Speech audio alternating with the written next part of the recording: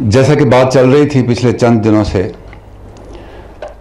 کہ کیونکہ انڈیا نے ہمارے اوپر اگریشن کیا لائن آف کنٹرول وائلیٹ کی اور پھر جس طریقے سے اس کے بعد کلیم کیا گیا کہ ایک الائج ٹیررسٹ جو ہائیڈ آؤٹ ہے، اس کو ڈسٹرائی کیا اور تین سو پچاس دہشت گرد اس میں مارے گئے۔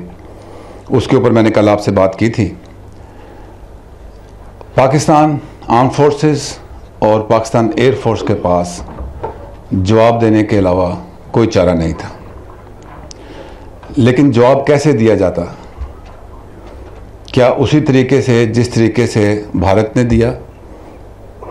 یا وہ طریقہ جو کہ ایک ذمہ دار ملک کا ہوتا ہے۔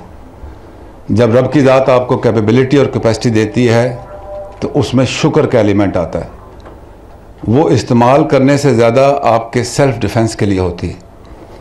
پاکستان آرم فورسز کے پاس کیپیبلٹی بھی کیپیسٹی بھی ول بھی ریزالو بھی، عوام کا ساتھ بھی ہر قسم کی چیز موجود ہے۔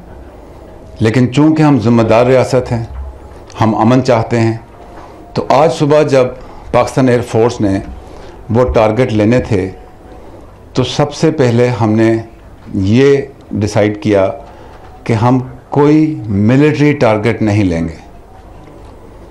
دوسرا ہم نے ڈیسائیڈ کیا کہ ہمارے ٹارگٹ کے انگیج کرنے کے رزلٹ میں کسی انسانی زندگی کا نقصان نہ ہو۔ نہ صرف انسانی زندگی کا بلکہ کوئی کولیٹرل ڈیمیج بھی نہ ہو۔ تو جب ہماری ایئر فورس اپنی حدود کے اندر رہتے ہوئے جو ٹارگٹس ہم نے سلیکٹ کیے ہوئے تھے، چھ ٹارگٹ ہم نے سلیکٹ کیے، ان ٹارگٹس پہ ہمارے پائلٹس نے لاک کیا اور پھر اس کو لاک کرنے کے بعد تھوڑا فاصلے پہ ہم نے کھلی جگہ پہ وہ سٹرائکس کی مقصد یہ تھا کہ ہمارے پاس کیپیبلٹی ول ریزالو ہے، لیکن ہم کوئی ایسا کام نہیں کرنا چاہتے جو ہمیں غیر ذمہ دار ثابت کرے۔ تو سٹرائکس ہم نے لیں بھمبر گلی کے جی ٹاپ اور ان کے ناریان کے علاقے میں جو ان کے سپلائی ڈیپوز تھے، ان تمام ٹارگٹس کو ہم نے ایکوریسی سے لاک کیا اور جب ہمارے پاس آپشن تھی کہ ہم ان پہ فائر کر سکیں، ہم نے ذمہ داری کا ثبوت دیا، ان سے سیفٹی ڈسٹنس رکھ کے اور پھر ہم نے وہ ٹارگٹ انگیج کیا۔ مقصد بتانے کا یہ تھا کہ ہم سب کچھ کر سکتے ہیں، لیکن ہم یہ ریجن کے پیس کی کاسٹ پہ نہیں کرنا چاہتے۔ یہ ریٹیلیشن ان ٹرو سینس نہیں تھی۔ لیکن یہ بتانا کہ پاکستان کے پاس کیپیبلٹی ہے، ہم کر سکتے ہیں، لیکن ہم ذمہ دار رہنا چاہتے ہیں۔ ہم ایسکلیشن نہیں کرنا چاہتے۔ ہم جنگ کی طرف نہیں جانا چاہتے۔ پرائم منسٹر صاحب نے بھی امن کا پیغام دیا، عوام نے بھی امن کا پیغام دیا، اور ہم کسی بھی صورت اس خطے کو جنگ کی طرف لے کر نہیں جانا چاہتے۔ اس کی جو ویڈیو ہے، وہ تھوڑی دیر میں ہم آپ کے ساتھ شیئر کریں گے۔ جب پاکستان ایئر فورس نے یہ ٹارگٹ لے لیے، تو اس کے بعد انڈین ایئر فورس کے دو جہاز ایک بار پھر لائن آف کنٹرول کی خلاف ورزی کر کے پاکستان کی حدود میں داخل ہوئے۔ پاکستان ایئر فورس تیار تھی، انہوں نے اس کو ٹیک آن کیا، آپس میں انگیجمنٹ ہوئی، جس کے نتیجے میں دونوں بھارتی جہاز جو تھے وہ شوٹ ڈون ہوئے۔ ان میں سے ایک کا ریکیج ہماری سائٹ پہ گرا، جبکہ دوسرے کا ریکیج ان کی سائٹ پہ گرا۔ اس کے علاوہ بھی انڈیا کے ایک جہاز کے گرنے کی اطلاع ہے جو تھوڑا اندر ہے، لیکن وہ ہماری اس کے ساتھ انگیجمنٹ نہیں ہوئی۔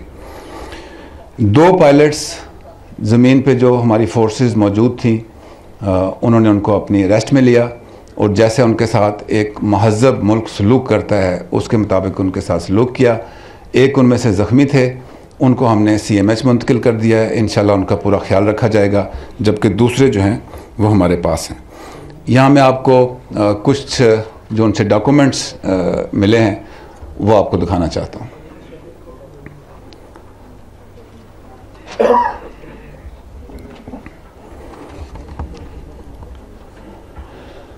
تھینک یو اس کے علاوہ میں انڈین میڈیا پہ دیکھ رہا تھا کہ انہوں نے کہا کہ پاکستان کا ایک ایف سکسٹین انہوں نے بھی گرایا ہے۔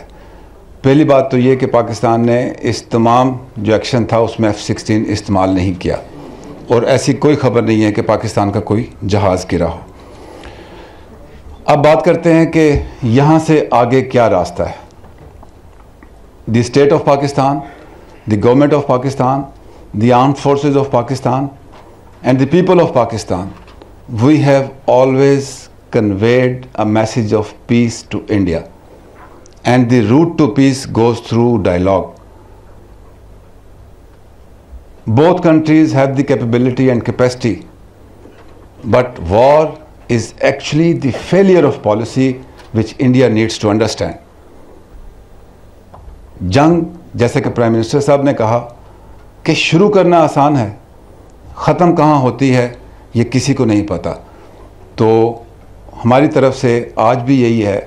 Having displayed our capability will and resolve we still do not want to escalate we want to follow a path which leads to peace the people of both the countries and the region at large they have a right to live and live in peace اگر آپ کہتے ہیں کہ ہمیں اپنے لوگوں کو تعلیم، صحت، روزگار، یہ دینے کی ضرورت ہے۔